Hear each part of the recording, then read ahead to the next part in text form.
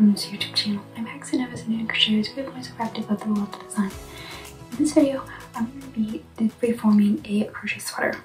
So I have all these crochet, these scraps of yarn um, in varying shades of gray and purple. And I've been really into um, trying to use my scraps up in bigger projects and not just little bits here and there. And so I really wanted to make a sweater for some time. I originally thought I was going to use these scraps to make a knitted sweater, but I've had in my head this idea of a crochet pullover that I really want to do. And I've actually just finished swatching. I found a stitch pattern and everything. This is the stitch pattern. This is my little swatch. Um, it's listed in my stitch dictionary as the thicket pattern. It's really simple and it's exactly what I was looking for. It, it's a lot of fun to do. It's just single crochets and double crochets and it just makes this really nice texture. So this is what I'm going to be doing the sweater in. I'm going to be doing the sweater, the pullover, um, in pieces, which is something I've kind of strayed from, especially when doing crochet garments. I really only made crochet garments like this, what I'm wearing. Um, this is actually the basic tee pattern by um, Hooked on Homemade Happiness. It's a circular top-down yoke. That's kind of what I usually do. The pullover I'm going to be designing is going to be done in pieces. I'm going to do um, a front zip, a front, a back, and then I'll probably actually do the sleeve in pieces also, just because I want this stitch pattern to lay. Um, I like I see doing it like a long rectangle and then folding it out. Um, I'm going to be sketching out my idea and kind of figuring out what to do with the colors because what I want is like thin stripes of color um, but I don't know with my scraps if I will be able to get a front and a back in those colors. So what I might end up doing is just doing the front in the scraps and then the back I have a lot of this um, gray color. So, and I can easily get more of this. So I might do like the back and the sleeves in this and just use the front to use up the scraps and show off the color. I plan on doing a v-neck and I've kind of made mistakes with v-necks in the past so that's going to be fun to figure out. But that's the plan right now and I thought I'd take you along with me. It's going to be a lot of fun. I free-formed a lot of knitted sweaters. Um, I can really, I can make up a, a sweater in knitting pretty easily. Like I know how to get my numbers and everything. Um, but crochet sweaters I haven't done that a lot for, so I'm really excited about this and hopefully it goes out well. I'm using worsted weight yarn and a 5.5 hook. Um, I did my little swatch here to try the stitch pattern. My gauge, I kind of want this to be a little bit oversized, um, so I'm thinking I'll do,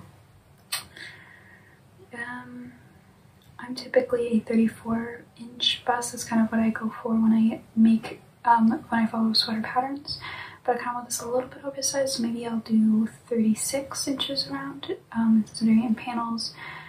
So that's the plan. We'll see. I'm very lazy with gauge, so we'll see. But I kind of want that oversized fit. And let's just get started. I'm still not entirely sure what I'm going to do for the striping, how many rows per color and all that um, but I kind of have it laid out here. Um, since I'll, I'll, probably end up doing at least the sleeves all in gray and possibly the back too, I think I'll start with a small stripe of the this gray at the bottom and then I'll kind of, like I don't want the colors, I want them to stripe, not fade, so I really don't know how I'm going to do it, but they're all very similar shades anyway, um, except that some of these are like multicolored and this actually has different shades inside um, this yarn, so I kind of have to do it as I go um, but still try and get what I envision in my head. So that's the fun and also the challenge working with scrappy projects. So it's actually two days later and I've been working pretty monogamously on my sweater here. I've made quite a bit of progress. So I've decided to stripe four rows of each color. Um, I'm pretty happy with the color placement. I have a lot more gray than like these brighter colors. Down here, I'm not really happy about this part, with this purple and this dark gray together they kind of look too close. Um it didn't look that way with the skeins when i held them up but so i'm not too happy about that stripe. That kind of bothers me but I already, by the time i noticed it i was already done with the next gray stripe. Um so it's fine. It's a scrappy sweater that's the point. But i'm really enjoying it. It's a really fun stitch pattern. It's literally just single crochets and double crochets and skip stitches. It's super easy. It makes such a nice texture so I'm really liking it. I ended up doing actually um, chaining 80 stitches for 20. I'll have a 40 inch um, circumference by the end of it, 20 um, inches for each panel. That way um, it'll actually be more of a drop shoulder than what I was really going for to kind of get the shape I want.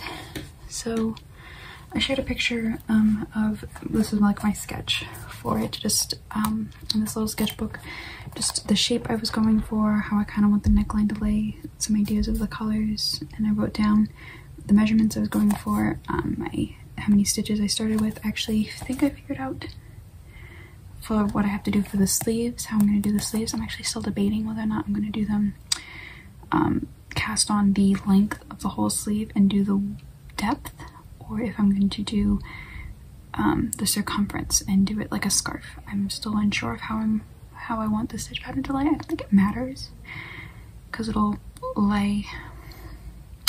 I don't know. I have to think about it when I get there. But this is how I, when I make up a sweater pattern, how I sketch it out and just so I can see everything and make sure I'm not forgetting anything. Um, but that's, that's good progress. I think I'm probably, I don't know what I'm to do for the back since I'm, like I still have quite a bit of yarn left, but the back will have to be then, if I stripe the back, it'll have to be a little bit different from the front and I don't know if I'll like that. I might end up doing it all in gray. That's another thing. If I do the sleeve, if I do it like a regular, how I would normally do it, like um, cast on the circumference and then knit and then crochet the length.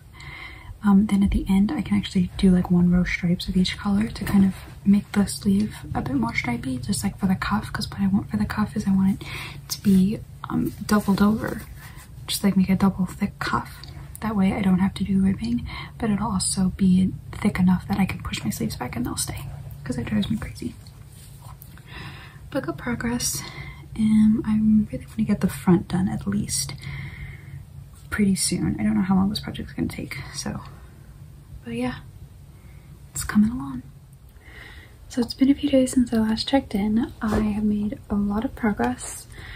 Um, I kind of took a little bit of a break from the project just because the color management was really getting to me. I wasn't sure if I liked how it was going, but I fixed all my problems. I really like how it's looking. So I finished the front panel. You can kind of see from your stripes, I'll be honest, I think I talked about this. I'm not thrilled with this part down here. These colors were too close together once worked up. They didn't look that way in the skein, but they just kind of became too close together. But I ended up using more of this gray than I thought I would, but I kind of like how the overall, like it looks almost planned out, but still scrappy.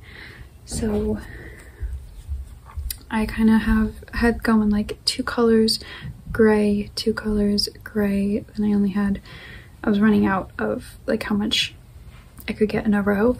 And then I did end up with this wider stripe here. So all these little strips are four stripes. This one is eight stripes.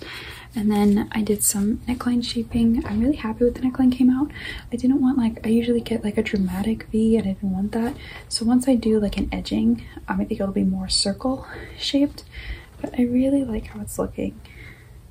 Um, I like how I achieved the drop shoulder effect with having the wide with the stitch count I was using. I just, I'm, I think I'm really gonna like it once it's all together. And then the back is also almost done. So I couldn't like make the front and back match perfectly, just wasn't gonna work out with how much yarn I had. So what I ended up doing is um, I used more of the like even more of the light gray than in the front. Um, for every, like you can kind of see, I had enough of the, this blue to get that stripe in, that blue stripe, but I ended up um, it just instead of having another stripe I just used the gray for that stripe. So this is actually eight blocks of gray instead of a four. And then a contrast if that kind of makes sense. So when I seam it up like the strip will still some of them will still line up and this wide chunk of this multicolor scrap will line up so it'll it'll it'll look good once it's seamed. Like it'll still have that scrappy effect, but it will be very smooth, I think. So I'm almost done with this. I actually think I have, I think I planned to do, because I'm not going to do the shaping on the back for the neckline, I'm just going to do it straight. I'm doing these four stripes of gray, and then I think what I'll end up doing is I'll do the four stripes, I'll do eight stripes of this gray this like multicolored gray just so I have a stripe on the back and then finish it with the four stripes of the solid gray again. That's what I'm gonna do. And then I should have enough to just do the sleeves in a gray and then um, I figure I'll do some like pretty sort of edging with these leftovers, um, just like little, maybe like two rows of single crochet or something. I don't know yet what I have in mind. But I used up a lot of the scraps. Um, let me just neaten up my basket here. I could put the project in this basket so I can easily see all the colors. So I have a little bit of this gray, of this multicolored. This is actually garbage. This is just a bunch of little ends woven up. So these actually can go in my scrappy blanket. And I only have these left, which I plan on using a little bit for before they go in the scrappy blanket. And this, they'll have a good amount of this left. And just these big balls of gray. So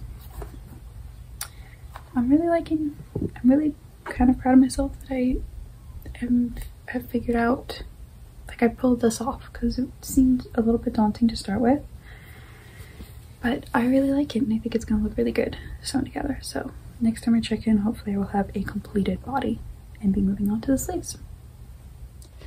So I have the body completed. I did the seaming. I'm really happy with how the neckline came out. It's much better than I was anticipating. Um, so I, I seamed the sides. I'm a little bit off. My goal was to have like the same color stripes line up. A little bit off. Um, it's okay. It's fine. Here's the back. I think it has this very cohesive look, which is what I was going for. Um, I started the first sleeve. I decided I'm going to do the sleeves this way, so I chained um, this amount, and I'll be doing the circumference back and forth. Um, I think since all my sleeves are going to be um, solid gray, so yep, pretty pretty pleased with it. It's, it's, it's a success so far. So I like how I got the the drop shoulder effect because that's been my biggest problem with this sort of construction. So.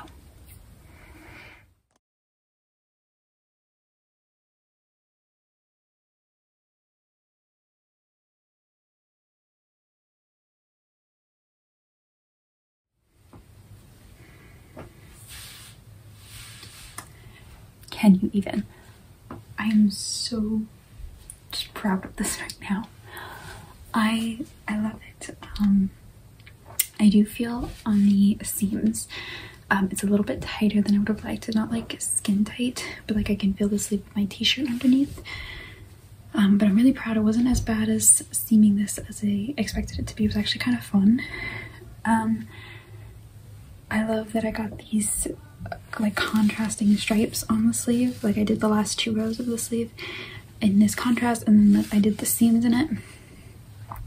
My sleeves are very long which I wanted because I wanted to be able to cuff them.